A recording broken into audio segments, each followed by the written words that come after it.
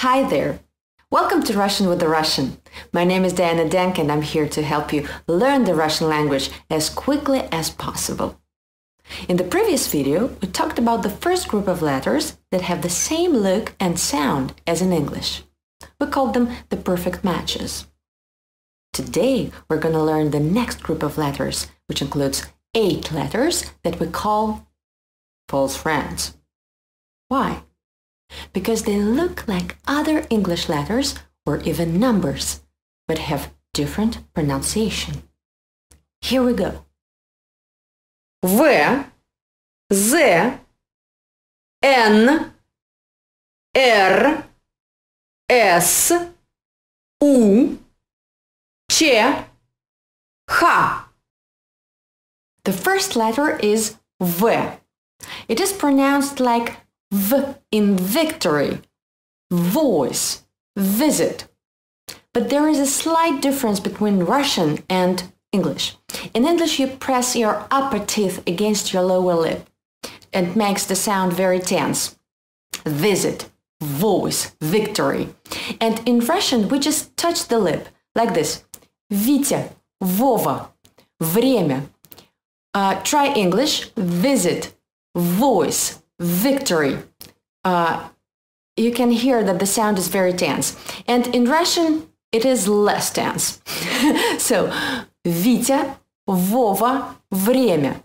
Visit, Витя. Visit, Витя. You got it? I think you got it right. The sound is V, V, V. The next letter is Z. Despite similar form, it has nothing to do with the number 3.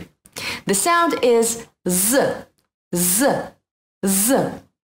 It is pronounced like z in zoo or zero.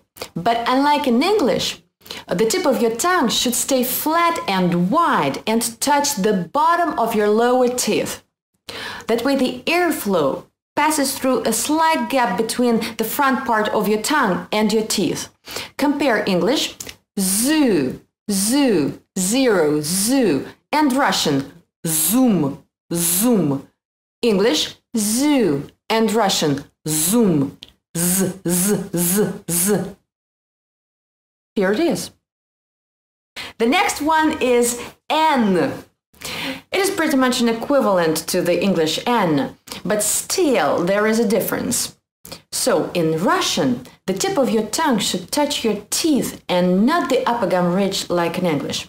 Compare English, n, n, like no, never, and Russian, n, n, нет, no. One more time, English, n, n, never, no, and Russian. Н, н, н, нет, Is n, n, n. The next letter is our famous R. It is pronounced almost like R in bright, but you should roll your tongue like the British actors do when reading old poems. I that am rudely stamped, and want love's majesty to strut before a wanton ambling nymph. The sound is r, r, r. The next one is s. It is pronounced like s in sun or sea, but the tip of your tongue should touch your lower teeth, and the tongue itself should remain flat that way you will avoid a lisp. The sound is s, s, s. The next letter is u. It sounds like u in shoot or rude, but it is pronounced shorter than in English, with lips more rounded and protruded. Try. U, u, u. Here it is. The next letter is cheer.